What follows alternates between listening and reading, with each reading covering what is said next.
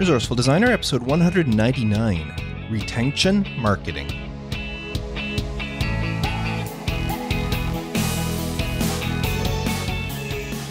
Welcome to the Resourceful Designer Podcast, offering solutions to streamline your graphic and web design business so you can get back to designing.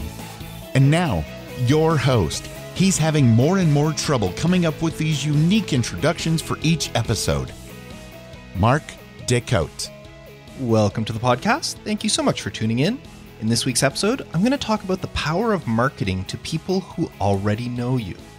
And I'm going to share a resource that is my current choice when it comes to website hosting. Now, what have I been up to? One fun thing I've been up to this week is the LinkedIn Challenge. Now, this is a challenge put on by my friend Andrea Jones. And if you'll remember, Andrea joined me on the podcast for episode 178. And in that episode, she mentioned the power of using LinkedIn to grow your business. So she was putting on a free LinkedIn challenge, and I participated in that. And I think it's really going to pay off. We went through, it was a day by day challenge, updating profile photo that was there, not just the, uh, your profile picture, but the banner at the top of your page, your summary, your tagline, creating posts, all sorts of stuff. So I'm much more comfortable now in LinkedIn. And I think going forward, it's really going to help me. I'm enjoying this tool the more I use it, much more so than Facebook and Instagram and all the others. So that was a big part of my week was just taking part in that LinkedIn challenge. Which, even though the challenge is technically over by the time you hear this episode, I think you can still go in. It won't be a live challenge, but I think you can still go through and watch all the videos. It's absolutely free, by the way but you can go through and follow through on the videos and the step by step instructions. And if you're curious about that and want to give it a try and think that LinkedIn might be something you want to challenge yourself with this year, then visit resourcefuldesigner.com slash LinkedIn challenge, and that'll redirect you to Andrea's Savvy Social School page where you can sign up for the challenge for free. So that's one of the things that I've been up to. I'm also been getting ready for next week, episode 200. Can you believe that? Episode 200 of the podcast next week. And I'm going to do something special. I'm not going to spoil it now, but I'm going to do something special for the podcast next week. So tune in, but I've been getting things ready for it this week. Now, one other thing I wanted to mention to you is when you're communicating with people, and I shouldn't have to say this, but when you communicate with people, being cordial and polite goes a long way. This might sound kind of weird, but first of all, I have multiple email addresses. Well, one of them is with my internet service provider. Actually, I have a bunch of email addresses with my internet service provider. But one of them, and I don't know how they let me register this, is billing at and then the the rest of the domain. And it never fails. Every month, I get several emails from people thinking that they're emailing the billing department at my internet service provider. Again, I don't know why they let me register that as one of my email addresses and not keep it reserved for them, but they did. So I get these messages, and every month I get people. First of all, most of the time when people email the billing department, it's to complain about something. And I get people that are just so ornery and impolite and downright rude in their emails practically you can imagine them yelling at the billing department of this company. And I just delete those emails. I don't feel sorry for the people, whatever their problem is. If that's the way they're going to act, I delete them. But every once in a while, I'll get an email with somebody that is really polite. They are explaining their situation. They go into detail, and of course, this is detail I shouldn't be seeing because they think they're they're dealing privately. But that's besides the point. But for those people that are very polite, I will actually reply to the email and let them know that they have not reached the proper place, that this is my email address, and give them the proper email address that they should be sending their message to. And they will often reply to me thanking very, me very much for that. But all of this to say that when you are communicating with anything, with a service, customer service, with a tech support, or that, courtesy and politeness goes a long way.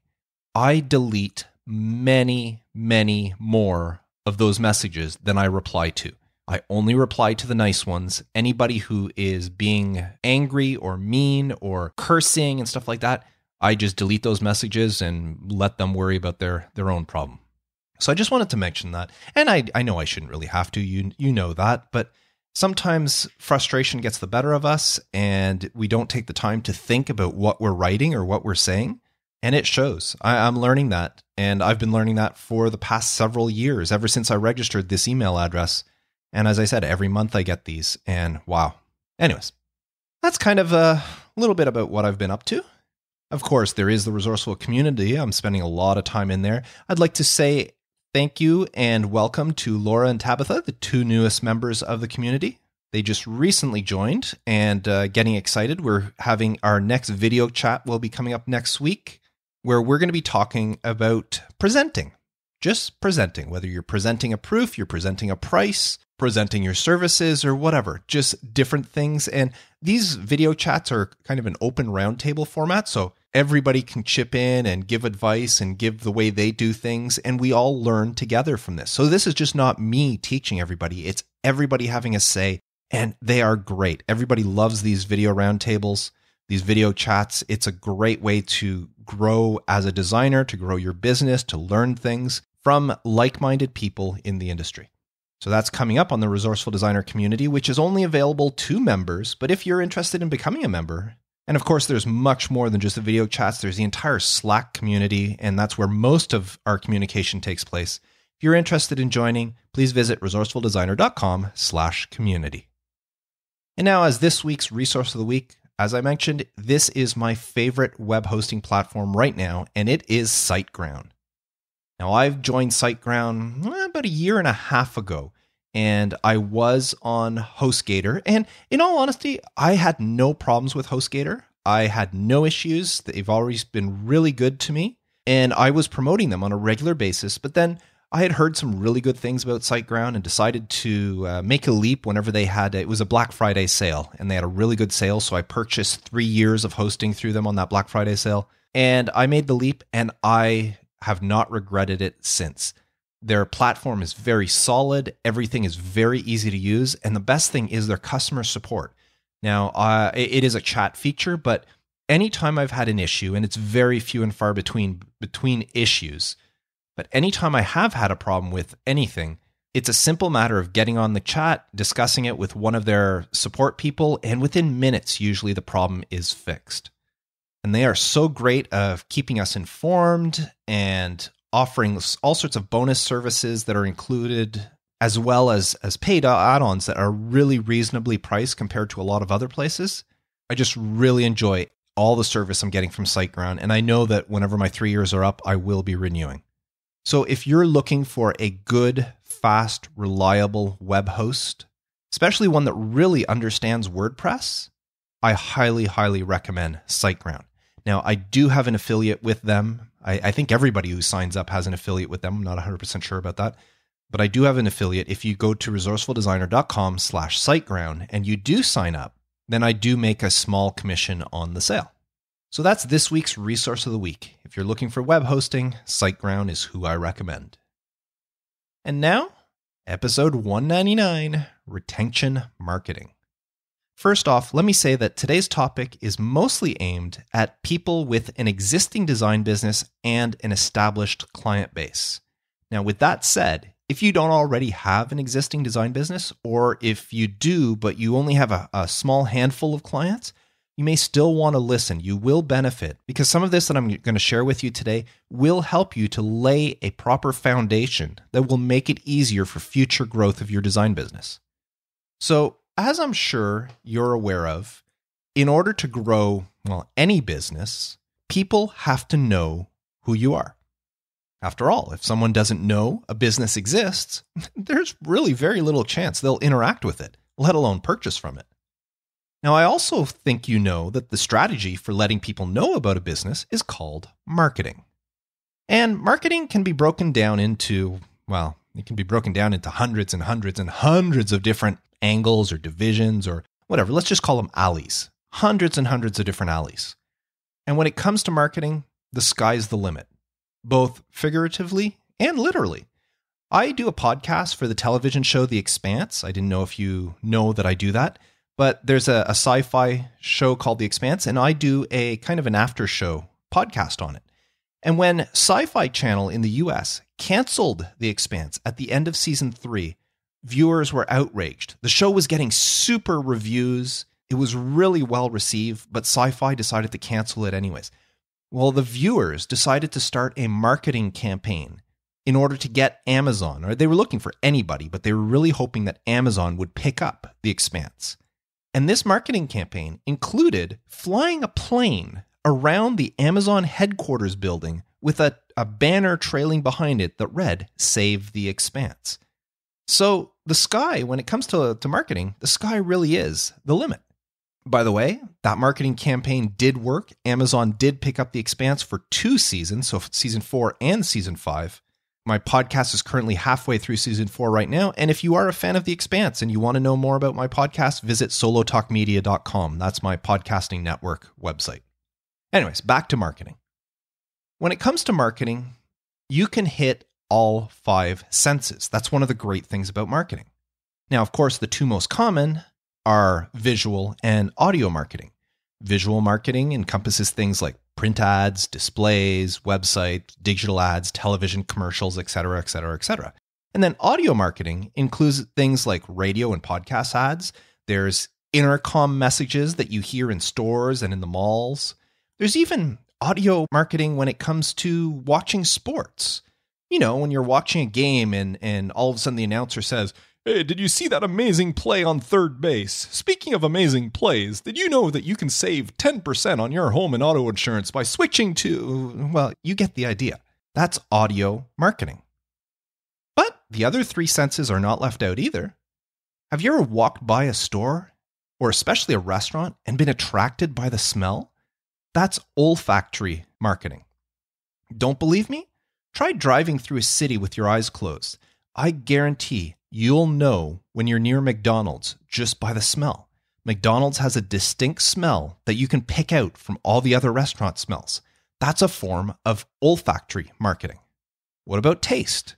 Well, have you ever been in a grocery store and they had these little samples that you can try? Or maybe at a restaurant where they pass out these little things and encourage you to try it in the hopes that maybe you'll buy it? Or maybe you're old enough to remember the old Pepsi challenge. For those of you who don't, Pepsi started at this marketing campaign. It was back in the mid 70s and it ran for well over a decade.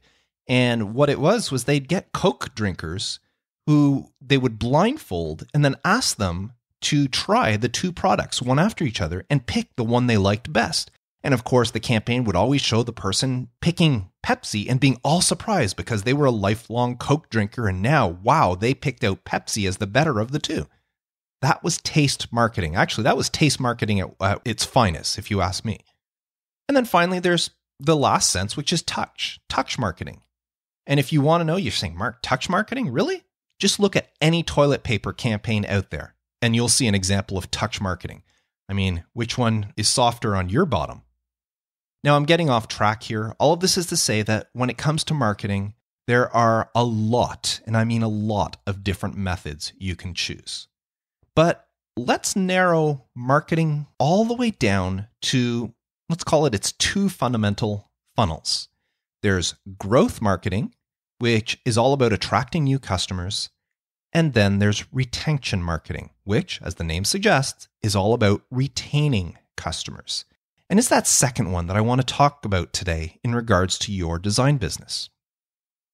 As a designer, whether you call yourself a, freelancer or a business owner, or whatever, you need for people to know about your design business before there's any chance that they'll hire you. Am I right? As I said earlier, if someone doesn't know about you, there's practically no chance that they're going to hire you for your services. But the problem that most businesses face, and that includes design businesses, is that they're so worried about getting new people to know about them that they completely ignore the people who are already familiar with their services.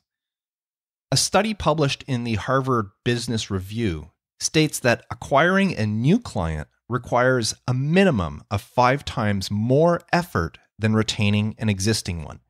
And similar research done by Bain and Company states that if you can increase the number of returning clients by, say, 5%, your profits will go up by at least 25%.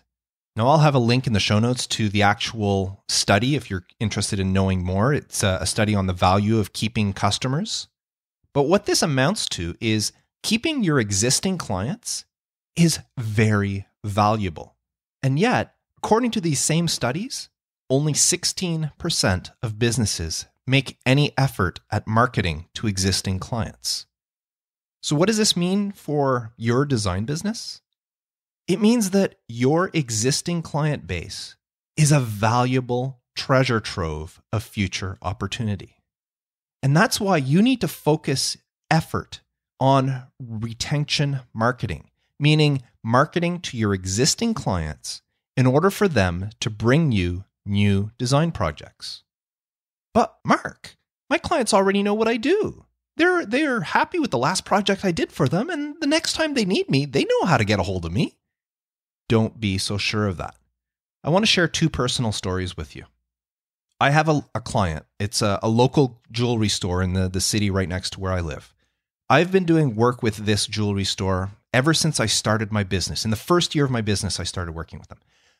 In all the time I've been working with them, I've created flyers, brochures, uh, I've created sales coupons, postcards, posters, rack cards, business cards, magazine ads. There's been some digital ads, and there's probably some more that I'm forgetting right now, but you get the gist. I've designed a lot of stuff for them. And every time I do a job for them, they tell me how much they love my work. And yet, out of all those jobs that I mentioned and the few that I probably can't think of off the top of my head right now, in all the years I've done work with a jewelry store, only once do I remember them contacting me to initiate the project. Every other project that I've ever done for this client was initiated by me either sending them an email or walking into their store or when I happened to bump into the owner at some event or maybe even at a grocery store or something on each one of those occasions, we would chat. How you doing? What have you been up to? How's business going? And the conversation would often turn to discussing marketing stuff and that, which would eventually lead to the owner asking me to do a project for him. Now, I guarantee you, if I had not initiated those conversations, I wouldn't have gotten those projects. And how do I know that for sure? Because every time I go into his jewelry store, I see things around there that I know I did not design for him. And I'd ask him about it. I'll say, Where did this come from? And each time he'll tell me completely unashamed that, Oh, that one was designed by so and so. And this one over here was designed by this other designer. And just on a side note here, that's another lesson for you. Some of your clients, like this one that I have and others that I've had over the years, they like to spread the wealth, if you want to call it that way. They like to spread the wealth around and use multiple designers. I've had several clients like this over the years. They want to make everybody happy, so they give their next project to whomever the next designer it is they see. And that's why, as part of my retention marketing, especially with this client, I make a point of walking into that store whenever I'm in the neighborhood. I also make a point of sending him friendly emails, asking him things like, "Hey, how'd your Christmas season go? Did everything go well? Did you did you meet your expectations?" See, these are all forms of retention marketing. I've got to keep reminding him that I'm here, and only then does he remember to give me work. Now, my second story isn't as great. This one's to show you that taking the client will contact me when they need my help approach could actually hurt you. You see, just last year, I lost a website client. Now, this was a long standing client that had been with me for years. I had designed their website many years ago, and it was long overdue for a refresh. Now, I contacted the client about redesigning their new website and was told that they didn't have the money in their budget right now to do it, but they agreed that yes, the website needs to be done and that they would make sure that they allotted money in the budget the next time around in order to do the website. So I told them, Well, I fully understand. Let me know when you're ready. And I left it at that. I mean, the client knew my services. I'd been working with them for years. They knew I was familiar with their business, and they knew that I was eager to work with them on their new website. Plus, I managed their domain name. So what did I have to worry about? They would just contact me whenever they were ready. Or so I thought. Then one day, out of the blue, I receive an email from somebody, somebody I didn't know, asking me to change the name servers for this client's domain. Now, completely confused and, of course, taken aback, I called my client asking what was going on. He told me that he had hired a different local firm to design his new website. And when I asked why, if there was any issues with my services or if I had done anything wrong, He said, Oh, no, it was just that this newer company had mailed him some information. They had sent him some stuff in the mail about their company. Then they had reached out via email with a bunch of things and asked if he had any questions. They had a few conversations. And then they went in and they visited the store and they talked with the owner and they had a look around and they made some comments and some suggestions. And this client told me that he was impressed enough by their dedication that he decided to reward them by giving them a chance to design the new website. Now, he did assure me that he still wants to work with me, but considering that the website was the only project I ever had with him, that still remains to be seen. And all of this happened because I was simply too confident that my client was loyal to me, and I didn't bother doing anything to try to retain him because I didn't think I had to. And that taught me a valuable lesson. And that's why I'm actually sharing this with you today, so that something similar doesn't end up happening to you. Don't take your existing clients for granted. No matter how good you believe your relationship is, you still need to make an effort to keep that relation going strong. It's just normal. It's like friendship 101. The friends you keep in contact with are the ones that will call and ask if you want to get together on the weekend. And the friends you don't keep in contact with are less likely to do that. Don't believe me? How many of your old high school friends would you want to call up right now and ask them to come over this weekend? There may be a couple that you might say, yeah, they'd be fun to catch up with, but chances are there are several of your old friends, people you used to hang out with on a regular basis, that you wouldn't bother calling up right now, even if you had the chance. And that's because you've lost touch with them. And the same happens with clients that you don't keep in contact with. Who knows? Maybe if I had put in the effort to keep in contact with my client, he would have turned down this new company instead of giving them a chance. But he did because they were there and I wasn't. So, how can you use retention marketing for your business? As I stated earlier, it requires at least five times less effort to market to an existing client than it does to acquire a new client. After all, the client already knows you and they know what you do, so you don't have to worry about all that part of it. So, the best advice I can give you is simply to stay in touch with your clients. And the first step in doing that is well, first of all, and this is the best kind of marketing you can do with any client, is provide them with an amazing experience when they work with you. Now, if you haven't listened to my seven part series on client onboarding, which was episode 160 to 166, they show you how to introduce a client to what you do, walk them through your process, go through the design, and then at the end, part ways in a manner that encourages the client to come back for more. And it's that last part, part seven of the series, in which I cover the goodbye packet. Now, the goodbye packet is a way to build client loyalty after a project is finished. If you haven't listened to that series, it's super popular amongst my listeners go back and start with episode 160 and listen through to 166. And that series is a great foundation for retention marketing. But of course, there are other ways you can stay in touch as well. You can keep in contact in person, via the phone, or email. It's always a good idea every once in a while to reach out to a client just to see how they're doing. Don't use this as an opportunity to pitch your services. It's simply a way of staying in touch. That's how I keep getting work from this jewelry store client. I send him an email every once in a while, or I walk into his store. And you can do the same. Call or email an old client or, or go see them in person if you can, and simply tell them you were thinking about them for one reason or the other, and you thought you'd reach out to see how things were going. Now, of course, if the conversation does end up turning towards work and design projects, that's great, but it's not the reason for the call. Don't worry if you walk out of there and never having talked about design. Remember, relationship building is the key here. So pretend you're a couple of friends who got busy with life and now you're just catching up because that's what you're doing. Now, some designers use a newsletter to great effort for their retention marketing. In episode 192 of the podcast, I told you about resourceful designer community member Andrew and how he has a great newsletter that he sends out to his clients. It's a great tool for keeping in touch and letting his clients know what he's been up to. Even if it's not something one on one addressed directly to the client, although he does use a service that says, Hi, Mark, hi, Andrew, hi, Amanda, or whatever, they know it's an email going out to a bunch of people.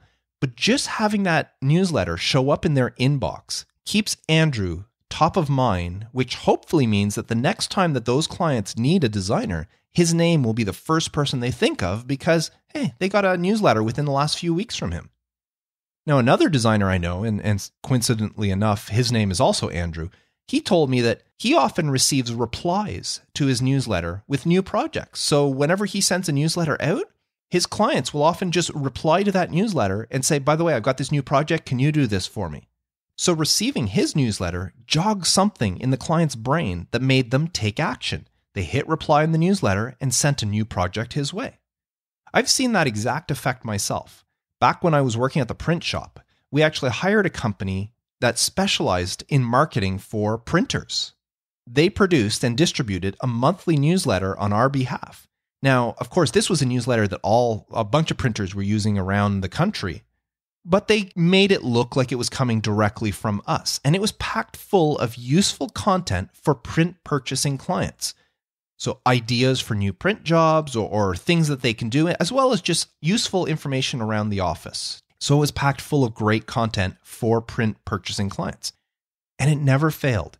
Each month, when we sent out our newsletter, or they sent out the newsletter on our behalf, there would be several people that would just hit reply to the newsletter, either with a new order. It's like, oh, your newsletter just made me think about something. I'd like to talk to you about this new print order. Or maybe it was just simply to request a reprint. Your newsletter made me think that I'm running low on business cards. Can I order another 500? Or sometimes it was to inquire about one of the topics covered in the newsletter. Oh, your newsletter talked about this innovative new printing technology or this new type of brochure. I want to know more about that. That's something I think I could use for my business. So every month when we sent this newsletter out, we would get people just replying to the newsletter or maybe not replying to the newsletter. Some of them would just say, Oh, I got your newsletter. And they would send us a fresh email saying, I got your newsletter and it made me think of this. So the newsletter was actually jogging people's memories and causing them to place orders. So a newsletter is a great way to remain in your clients' lives while between projects. Then, of course, there's social media. Now, a good practice is to follow your clients on social media. Now, if at all possible, create a profile for your business and follow them with that account. After all, you, there's a good chance that when you follow your client, they're going to follow you back. And you don't want to bombard them with your, your family photos, your vacation pictures, or the random snapshots of your dog doing cute things. I mean, that's great to share with family, but you don't want that interaction with your clients. So create a business profile for your business and use it for business and then keep your personal profile for your your own personal stuff. Now, Twitter and Instagram make it very easy to do this. You can create multiple accounts. But you can also do this a little bit with Facebook and with LinkedIn. You can't create a different personal account, but you can create a business page and use that page in order to follow people and stuff like that, or get people to like your page and so forth as well as posting and liking and commenting as your page as opposed to as your personal profile. The retention marketing strategy with social media is similar to a newsletter. You want your clients to know that you're still there, you're around. And you do this by replying or commenting on your clients' posts. So you're following your clients. When you see a post, you can post a reply if it merits one, or Uh, if there's something special going on, like your client announces some special event, why don't you consider sharing or even reposting it with your own business account? And while doing so, mention that, hey, this is one of your clients. So who knows? You know, the the the father decides to retire and the son's taking over the business. Announce that on your social media saying, hey, this business, so and so is taking over the business for his father who retires. This is one of my clients. That sort of thing. And make sure when you do this sort of thing to tag your clients in the post. That's the important thing. That's how they'll know that you're doing this, that you're there, that you're you're interested. One of the podcasts that I designed cover art for a couple of years ago, they recently published episode 100. Now, I made sure I knew they were coming up to episode 100. So I made sure once they published it that I shared that milestone that they had achieved with my audience. Now, they didn't ask me to do this, nor did they even know I was going to do this. But they did take notice because I tagged them in the post, congratulating them on reaching 100 episodes. And that simple gesture was a form of retention marketing. Yes, it's going out to my audience and it's showing my audience the work that I did and how I helped these people. But in the process, that simple gesture ensured that that client remembered me and remembered what I did for them. And they thanked me for sharing it, and they thanked me again for the great artwork I created for them a couple of years ago. Now, another option when it comes to retention marketing is to send your clients something.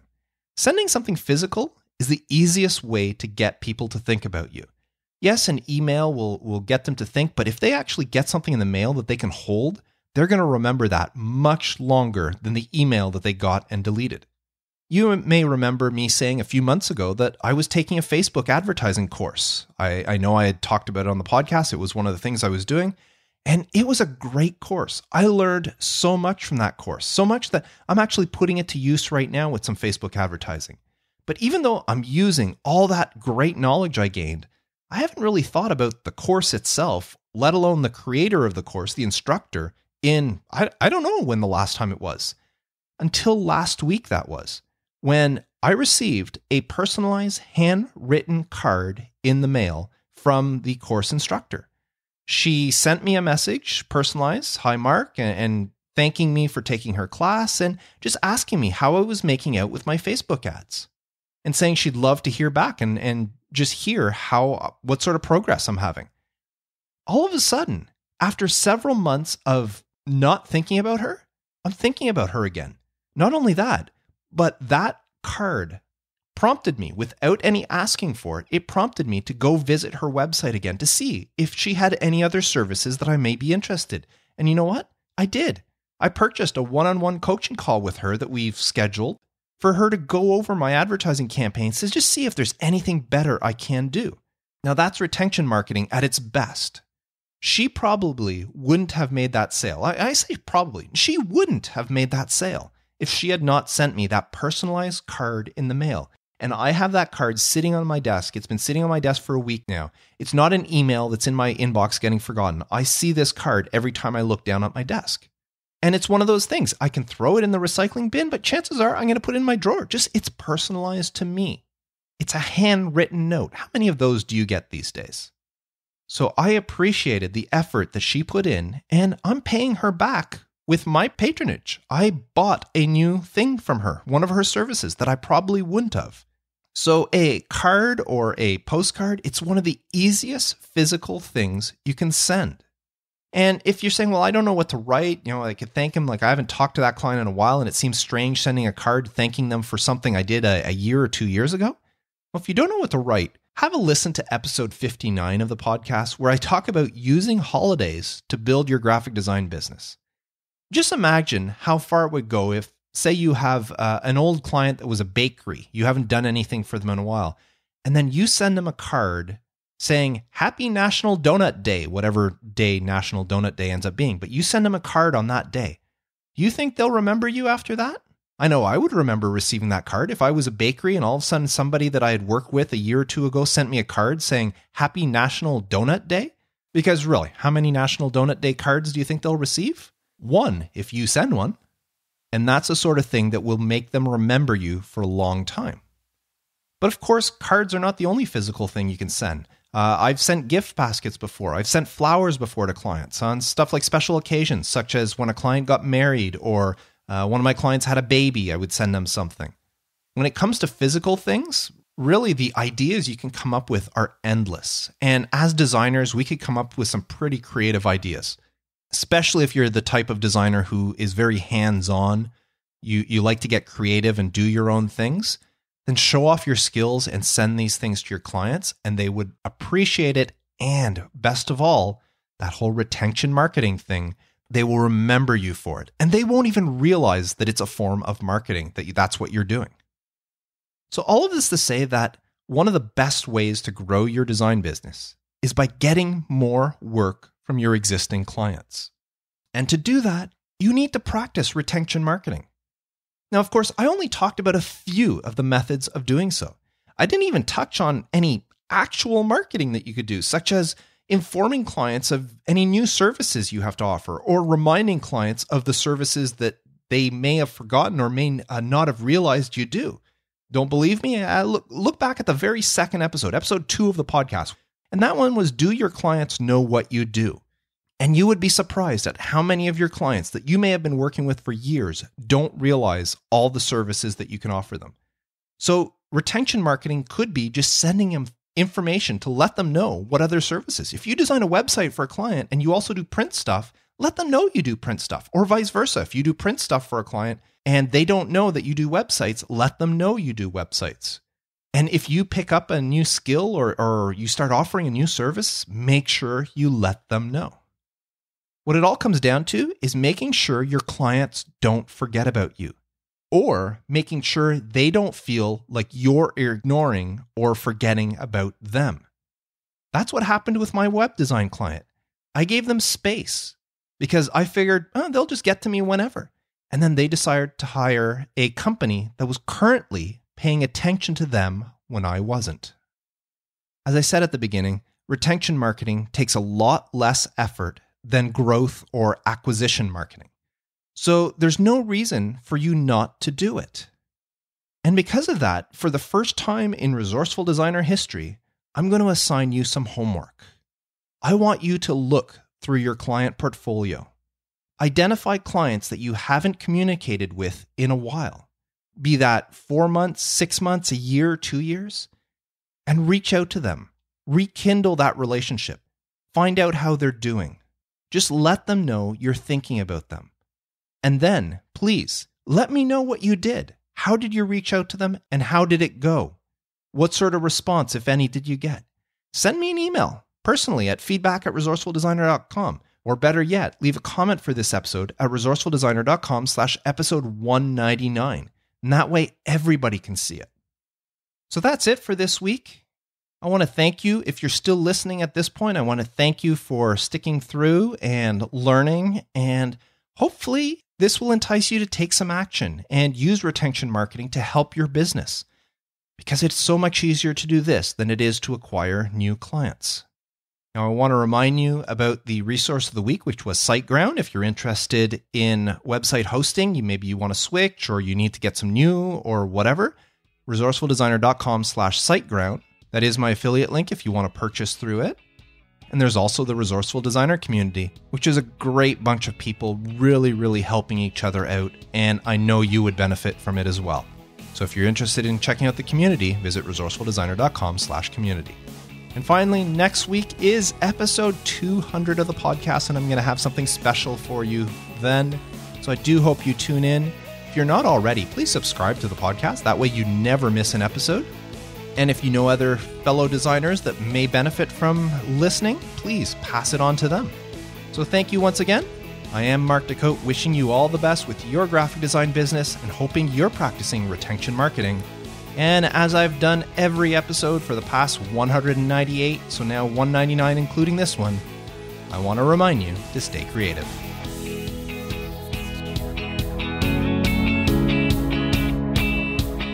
Thanks for listening to the Resourceful Designer Podcast at resourcefuldesigner.com.